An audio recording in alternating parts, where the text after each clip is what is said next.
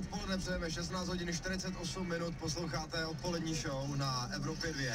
Teď se dostáváme do opravdy k velmi zásadní věci, která si myslím trápí totálně